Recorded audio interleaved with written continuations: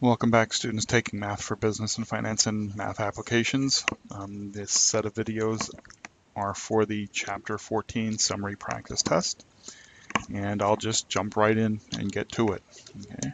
If I can get my digital tablet to work and get the pen. All right, so let's see here. Right, number one, Walter Lance buys a Volvo SUV for $42,500 Walter made a down payment of 16000 and paid 510 monthly for 60 months. What are the total amount financed and the total finance charge that Walter paid at the end of the 60 months? So the purchase price here is 42,500 and he puts a down payment of 16,000. So six three. So he's financing twenty six five. Okay. Now the um, the so that's the total amount financed, and so we want to know what the total finance charge is. Well, the finance charge is the difference between the total he has to pay um, less the amount that's financed. So in order to know how much he paid. Um, he's $510 for 60 months at 006. So he, um, the amount he has to pay uh, is $30,600 and the amount financed was 26.5. So one, four, oops, sorry, so it's uh, the amount of the finance charge is uh, $4,100. Okay. Number two, right, Joyce Mesnick bought an HP laptop computer at Staples for 699. Joyce made a $100 down payment and financed the balance at 10% for 12 months. What is her monthly payment? Use the loan amortization table. Okay, so if she buys a computer at 699 and a $100 down payment, right, that means she's financing $599.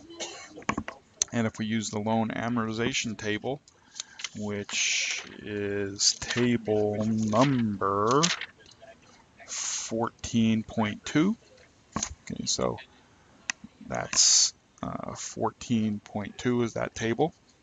And remember, that's um, that table is in thousands of dollars.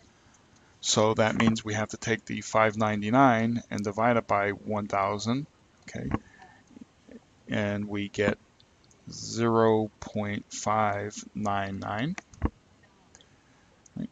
And then we um, cross-reference on the table. We're going to cross-reference the 10% uh, for 12 months. Okay, so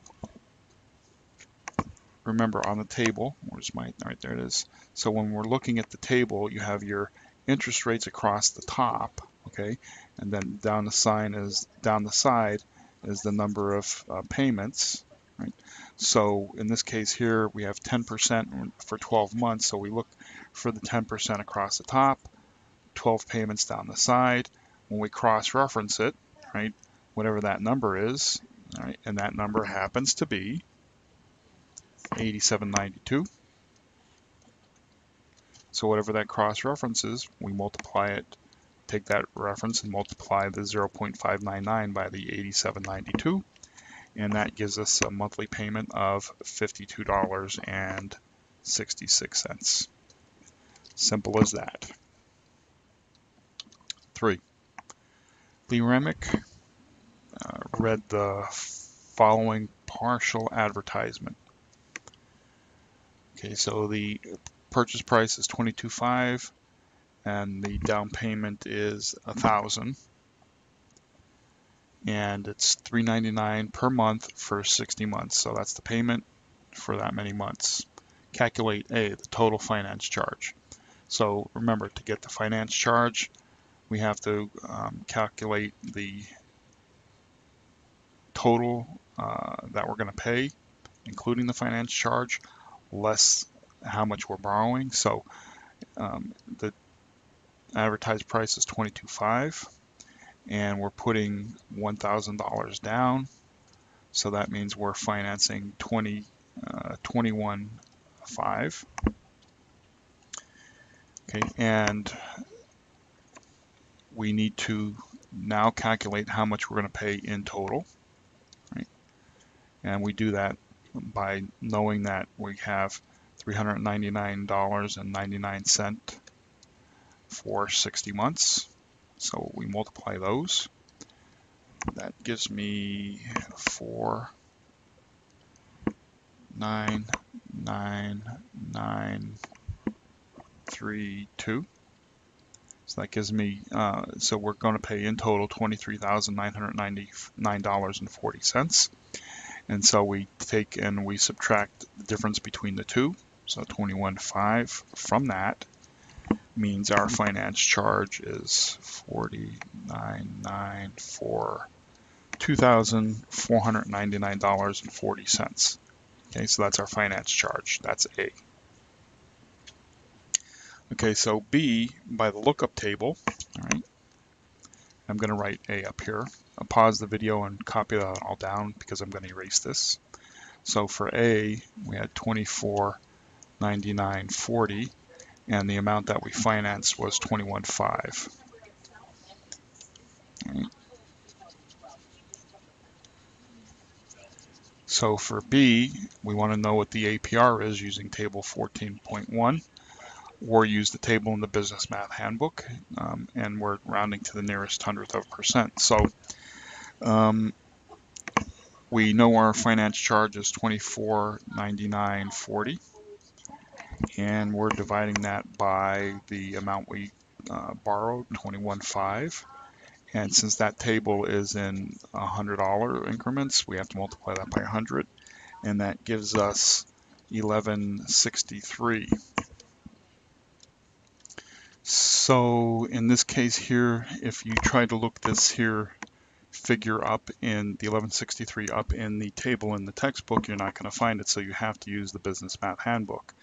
When you go to the Business Math Handbook, you look under the, you look at the cover and you look at the table of contents where it says APR and that's going to tell you that on pages 38 to like 42 I believe are the APR tables. So flip open to page 38 Okay? And when you go to page 38, you're going to look down the side because those are the payments. And when you get to uh, 60 for 60 months, okay, then you're going to look across the row until you come to um, the $11.63 uh, cents, right?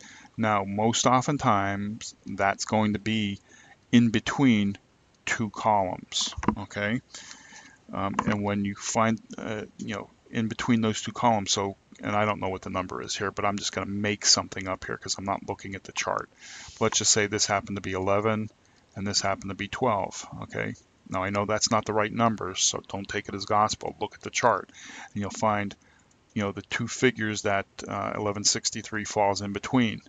Well, look up the columns until you get to the top and you'll find that that 1163 falls between four and a quarter percent and four and a half percent.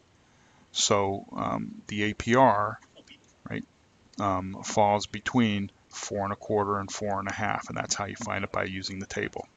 Okay, so let's see, that's three. Okay, so four and five. All right, so I'm going to stop and we'll pick up in the next video.